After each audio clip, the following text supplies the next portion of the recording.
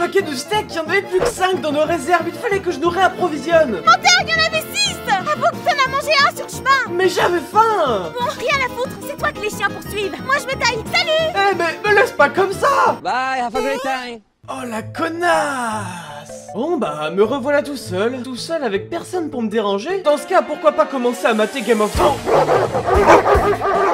Oh merde. Eh toi le cerbère, c'est pas le moment de venir me les briser ah, moi qui pensais être aussi efficace que One Punch Man. Oh sa mère C'est pas bientôt fini, Suzuki Si tu veux récupérer ton steak, il va falloir m'ouvrir le bide T'as vraiment envie de faire ça? Eh ben moi non Allez, salut le toutou, tu passeras le bonjour à Hades Pfiou C'est pas trop tôt. Excusez-moi pour cette introduction mouvementée. Faut dire que dans ce monde post-apocalyptique, vivre une vie sans péripéties n'est pas chose aisée. Laissez-moi donc vous faire un peu d'exposition. Je sais que vous adorez ça. Tout commence le jour où... Ah merde, j'ai plus de batterie. Non J'étais à deux doigts de retrouver mon porte... Ah. Effacez-lui la mémoire. Est-ce que je suis? C'est qui elle? Oh non, elle a l'air d'avoir 12 ans. Alors que lui, quel bel homme. Il est si sexy. Ah. Allez, assez glandé, il est grand temps de s'y mettre. Oh, bonjour voyageur. Tout va bien? Vous êtes resté dans le coma pendant plusieurs jours. Quel est votre souvenir le plus récent? À vrai dire, je me souviens pas de grand chose, mais je me rappelle avoir entendu des gens crier au loin Partie 3, partie 3 ou un truc dans le genre. Bienvenue à toi dans le camp de Consan Le refuge On t'a trouvé allongé par terre comme une grosse merde, alors on t'a ramené pour t'exploiter Ah, sympa. Avant de partir pour la quête principale, laisse-moi te munir de ta gamine de compagnie. Faut croire que c'est devenu une obligation dans les open world free-to-play. Elle galère un peu à parler par contre. Non mais j'en veux pas de ton truc, moi Et va-t'en, créature Si vous vouloir, je peux faire la cuisine. Ouais, c'est pas mal du tout, ça Allez, esclave, fais-moi un Big Mac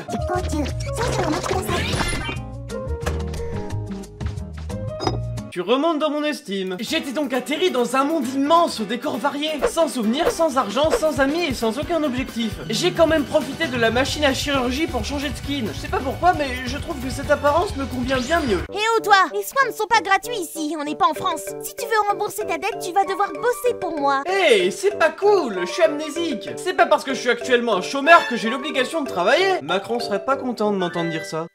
D'ailleurs, pourquoi tu portes un choker? T'as genre 12 ans. Non, je dis ça parce que d'après Golo Golo, c'est un accessoire BDSM. Ah, mais qu'est-ce que tu fous? T'as fait spawn des concrelades partout C'est ainsi que je suivis toutes les consignes de Shirley à la lettre, tel un énorme larbin. Tout d'abord, je suis allé réparer le système d'invocation qui était en rate d'énergie à cause des mobs qui jouaient au volleyball dedans. J'ai ainsi débloqué un arc et suis devenu officiellement le plus grand sniper de l'histoire, le Sniper King. Et maintenant, je dois aller récupérer les... Ah bah qu'est-ce que t'as, t'es triste? Mon grand frère m'a disputé parce que je me suis servi de toi comme d'un esclave. C'est vrai qu'il a pas tort. Tu devrais t'excuser. Non, tu sais quoi? Reste triste en fait. Là, au moins, tu saouleras personne. Je veux bien, mais les méchants vont bientôt attaquer le repère. Comment ça, les méchants vont attaquer? Ah Bon allez, on se reparle plus tard, Mitra Par chance, mes Gugus d'alliés possédaient une énorme sulfateuse qui m'a permis de décimer de manière brutale la quasi-totalité du camp ennemi. J'ai même descendu un vaisseau en mitrailleuse volante. Problème, il est tombé sur le refuge et a failli tuer le beau gosse aux cheveux blancs. Heureusement, la gamine est intervenue en créant un bouclier afin de protéger son grand frère. Elle est morte? Oh non, c'est dommage Quoique, maintenant je suis libre d'explorer le monde et de retrouver ma mémoire. Dodu, j'ai faim. Va me chercher à manger, te plaît. Et merde Non mais sérieux, j'en ai marre de faire l'esclave D'ailleurs, pourquoi je me laisse faire en fait J'ai pourtant l'impression d'avoir été un dictateur par le passé. Je devrais plus me laisser faire comme ça à l'avenir. Une fois revenu avec du foie gras fait à partir de lois d'Untitled Goose Game, j'ai assisté à l'exécution de Shirley. En réalité, créer ce bouclier avait fait surchauffer son suppresseur. Un outil nous permettant d'éviter de nous transformer en zombies. Zeke Yeager était sur le point d'achever sa sœur, mais il a perdu ses iguane balls et s'est enfui avec elle une femme aux cheveux roses. Attendez, mais ça veut dire que je suis libre? Mais c'est génial Il faut absolument que j'aille grapper la tour céleste pour maîtriser mon haine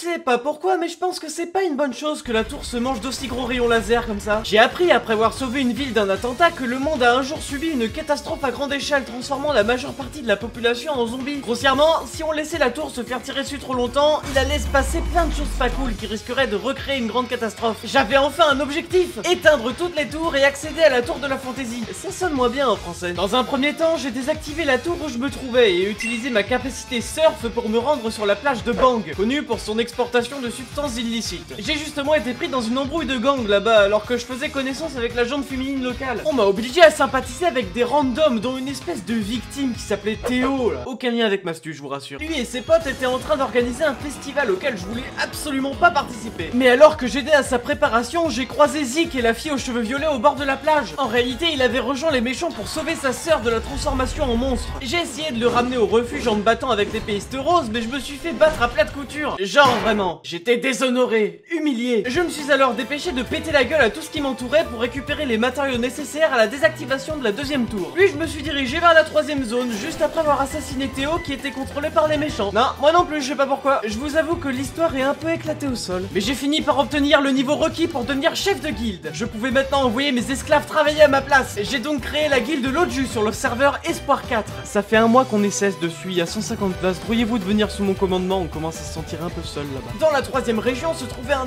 énorme parc d'attraction en suspension dans les airs. J'ai réussi à y accéder via une montgolfière grâce à un espèce de Pinocchio un peu mongol justement. En ce parc vivait une très grande scientifique à la pointe de la technologie, la Docteur Guéraud il me semble. Je voulais lui demander comment désactiver la troisième tour, mais j'ai refait la rencontre de Zik et de la femme aux cheveux roses. Charlie se trouvait ici, entre la vie et la mort. Visiblement, la docteur essayait de la guérir de son infection, mais ma présence, que dis-je, mon aura de chèvre, goat, l'a fait disjoncter au point d'utiliser ses pour essayer de nous tuer. Je l'ai arrêté en faisant tout péter et Zik l'a pris avec elle pour l'emmener dans un autre endroit, toujours dans le but de la soigner. J'étais prêt à les poursuivre, mais la destruction du labo m'est retombée dessus, alors j'ai dû travailler pour la scientifique dans le but de rembourser les dégâts causés. Étant donné qu'elle faisait des expériences sur les boucles temporelles, j'ai été coincé dans l'une d'entre elles où un espèce de brigand nul nommé chien racisé arrêtait pas de se faire tronçonner la gueule par des... des sosies un gars chelou. Cette boucle temporelle a duré plus de deux mois. Une fois le PNJ sauvé et la scientifique remboursée, j'ai pu désactiver la troisième tour et repris la route vers la vallée des mineurs exploités. Attendez, c'est très chelou dit comme ça. Quand je dis mineurs exploités, je parle des travailleurs, hein. J'ai profité de cette escale pour changer de tenue, parce que bon, l'ancienne était très stylée, certes. Mais sérieux, vous avez déjà essayé de vivre avec des moufles au quotidien? Parce que c'est vraiment giga relou. Vu que je suis trop fort pour mon monde, les habitants ont commencé à me surnommer le dieu de la mort. Tellement que j'ai fini par utiliser une faux pour me battre. Faut croire que les gens me reconnaissent à ma juste valeur. Le sida des yeux était très répandu en cet endroit. Les travailleurs étaient malades et bossaient dans des conditions insupportables pour un salaire de misère, tandis que leur chef s'en mettait plein les poches. Mais bon, ça me concernait absolument pas, alors je les ai laissés se démerder et je suis allé défoncer un plagiat féminin de Jason avec une... une tête bizarre. Le patron tyrannique des mineurs m'avait à la bonne, alors il m'a proposé de me donner les matériaux nécessaires à la désactivation de la quatrième tour en échange de mon silence vis-à-vis -vis de la situation des mineurs. Mais bien sûr que j'ai accepté Chacun pour sa gueule ici, j'ai pas que ça à foutre de sauver tout le monde, moi Dans la cinquième zone, surnommée l'Alaska, la température avoisinait les moins 15 degrés Celsius. Croyez-moi, j'aurais bien aimé affronter cette température en caleçon comme avec mes chats de prédécesseurs, mais bon, je suis comme Noah, j'ai pas le droit d'enlever mes vêtements. La dernière tour était totalement congelée, impossible de grapper en haut ou même de l'activer. Heureusement, mon acolyte France possédait déjà un gigantesque canon qui m'a permis de tirer un ultra laser sur la tour pour détruire la glace. Ça a été super efficace Désactiver la cinquième tour m'a appris que le groupe des méchants essayait de charger au maximum la tour fantastique en énergie pour effectuer un gigantesque retour vers le passé. En soi, ils sont pas si mauvais vu qu'ils essayent de revenir avant la grande catastrophe. Ils veulent sauver le monde en somme. Mais ce qui a provoqué la grande catastrophe par le passé était justement un voyage dans le temps. Il était de mon devoir de les arrêter. Alors j'ai dû commencer l'ascension de la tour fantastique, mais sur le chemin, je suis tombé sur la carcasse du Titanic. Je m'y attendais pas, mais là-bas, j'ai surpris Zik en train de se faire trahir par le groupe des méchants. Il voulait garder sa sœur pour l'utiliser comme une arme. Je me suis allié à lui et on a sauvé Charlie retenu captif dans une cuve de... On l'a libérée et finalement, elle avait l'air d'aller vachement mieux. À tel point que nous sommes partis tous les quatre faire un raid sur la base de nos ennemis. Oui, on est quatre parce que France est jamais vraiment partie de la team en fait. Ma puissance était à son apogée. J'arrivais même à annuler les collisions en projetant mes ennemis contre les murs invisibles. Nos adversaires étaient au bord de la défaite, mais la tour de la fantaisie avait assez d'énergie pour lancer un voyage dans le temps. J'ai bondi sur l'occasion pour rentrer à l'intérieur et la grimper, étant donné que mes ennemis avaient fui vers le sommet. À deux doigts de la réussite, ma progression fut barrée par... Oh je sais pas quitter, mais je sens qu'on va bien s'amuser tous les deux. Ah, ah, ah Tu veux pas faire une partie de tout, plutôt non mais c'était du second degré au début. Au sommet de la tour, mon opposante libéra sa pleine puissance, donnant lieu à un combat épique où la foudre et les flammes s'entrechoquaient. J'ai quand même fini par la vaincre et suis parti stopper les plans machiavéliques du vieillard cybernétique. Malheureusement, il avait déjà atteint son objectif. Le retour vers le passé allait se déclencher d'un moment à l'autre. Et j'ai remis une branlée à Charlie au passage qui avait bien choisi son jour pour nous refaire une crise d'ado. Puis Zek a décidé de se sacrifier afin d'interrompre le programme temporel et ainsi sauver l'humanité. Putain, les animations de ce jeu sont dégueulasses, c'est illisible Deux mois plus tard Hey Shirley, ça va? T'es guéri à 100% Oh, mais depuis quand t'es plus grande que moi? T'as bouffé ton frère Lodu, j'ai besoin de toi. Grand frère n'est pas mort. Il a été transporté dans une dimension parallèle du nom de Vera au moment de son sacrifice. Je veux que tu viennes avec moi pour aller le sauver. Vera, la meuf dans Scooby-Doo? Tu peux être sérieux juste deux secondes? Hmm, laisse-moi peser le pour et le contre. Si je te suis, ça fera plus de contenu pour les prochaines vidéos, je risque de rencontrer une nouvelle waifu et je pourrais probablement récupérer mes souvenirs. Tandis que si j'arrête de me bouger ici, et bah... Bah il va plus rien se passer du tout en fait. Oh, tu viens? Bien évidemment, banane. Merci, Lodu. Et voilà, mon voyage s'arrête donc momentanément ici. La prochaine étape de ce périple est donc la dimension de Vera. J'espère que d'ici là, le budget des cinématiques augmentera et que les bugs de doublage et de sous-titrage disparaîtront. Mais il y a un problème. Vous vous doutez bien que pour changer de dimension, faut passer par un portail dimensionnel ou une connerie dans le genre. Vous vous imaginez combien ça coûte de louer un portail de ce type? Hors de question d'y aller tant que vous êtes pas abonné. Il me faut bien plus de thunes pour ça.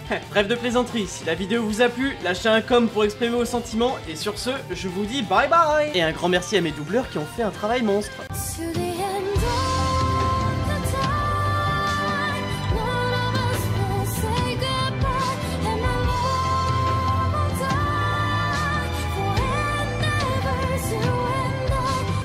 Là c'est trop, j'en ai marre de toutes vos pseudo-tentacules. C'est pareil dans tous les jeux, Tales of il y en a avec, Xenoblade 1 et 2, idem. Et Zelda, n'en parlons pas. Je pense que je vais déposer une plainte contre le Japon, ils sont trop accros à ça. Oh ta gueule